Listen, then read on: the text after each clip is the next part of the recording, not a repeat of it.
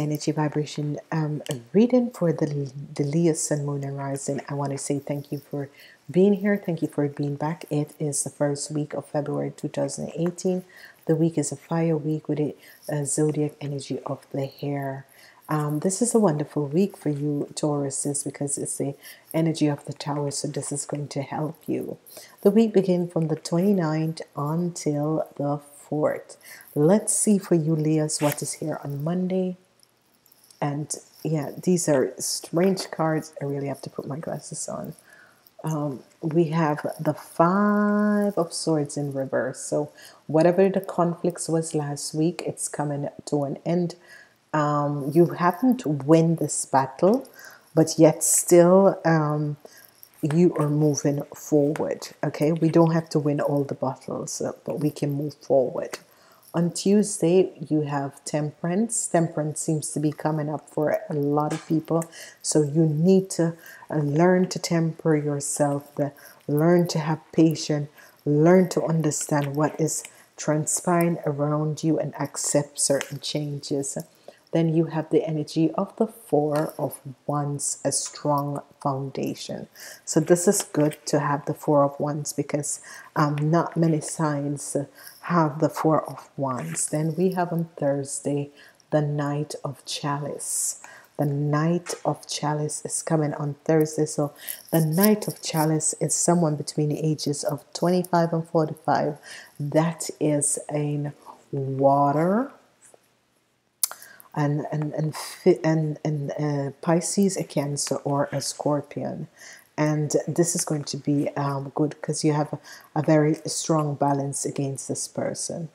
Then we have the energy of the five of wands in the reverse. So whatever um, that was transpiring with you losing the battle, you're losing the battle, but yet still, um, you know, you're you're letting things go and you're ending the conflict, okay? And you're having a temperance and balance. On Saturday, you have the Knight of Swords on Saturday. Um, whatever the situation is, you have the Knight of Swords, not a really nice person. This person is coming to cut away the dead branches with his swords. And on Sunday, you have the three of swords in reverse. So you are not really feeling a loss with this man. Whoever he is he can cut come and use his swords and cut but that is this is just not going to um, um, have any effect on you. And then you have the king of swords in reverse. You have to be careful with this king of swords in reverse because he can be very very horrible when he is in the reverse form. There is a transformation that is going to take place this week, and this transformation is going to be good. So, it is a feminine, now it's um, the same feminine and masculine week is a balanced week of femininity and masculinity. And this week is calling for um, there is change. It is not calling for changes. There is going to be changes the knight of chalice is is moving forward but you are standing strong and you know you are just you know being there and standing strong. And uh, um, this conflicts with you and this knight of chalice is over. And there is coming in someone and you know someone who is either listening or um, making mischief or that sort of a thing and you are not going to be heartbroken anymore. You are thinking, you know, um, what comes around comes, what goes around comes around. Okay. You have the energy of the King of Cups. So you have the Knight of Cups and the King of Cups. So with the energy of the Knight of Cups and the King of Cups, there was um, a situation where there was conflicts between you and the King of Cups and you're now putting it to rest and you are balancing out the situation and you're now putting it to rest okay? Then we have the energy of uh, the four of um, pentacles come back up again. So your financial situation is going to be good um, whatever the situation is, not to worry because the King of Cups is going to come in and help you with that situation. Then we have the King of Swords twice in reverse. This is good. This is good having this person twice in reverse. That means that this person has absolutely no effect on you because what is happening is that um, with the Four of Wands, the strong foundation, you are not really feeling a loss about something because the King of Sword was there trying to do something, but it's not happening. It's as if uh, his power is now taken away, and the Knight of Chalice is moving forward. So let's see what was the conflicts and why was there temperance with the King of Cups. The energy of the world comes out and there is an ending and something, a new beginning is going to be coming in. As we look at the temperance and the four of wands together, there is going to be happiness and joy together. Um, you know, the energy of the world and the nine of cups, your wishes and dreams are going to be coming through in this week. And then you have the energy of whatever, because um, the three of swords is here twice in your reading, and the king of swords is in the reverse form, which this person really, whoever this person is, um, over the uh, over the age of 40 and is and Aries, no, an Aquarius, a Leo, or Sagittarius, and no, an, Aqu an Aquarius, a Gemini, or a Libra, they have no effect on you anymore. And this is good because he's here twice in reverse. This is a, one of the first time that I've had so much reverse cards. Um, the three of swords you have no sorrow absolutely no sorrow you you you know whatever is happening you have no sorrows and um, it, this is good because you are just accepting things as it is and move on. You have the queen the eye princess comes in which is wonderful. And um, the energy of the king of cups bringing in the eye princess it is going to be a wonderful positive energy.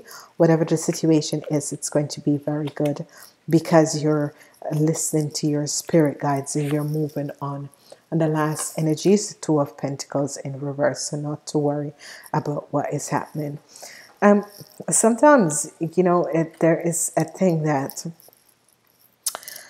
sometimes you don't have money, but you have friends. And what this is saying is that there is just these two energies, the world and the happiness together, and you are not um, sad about anything.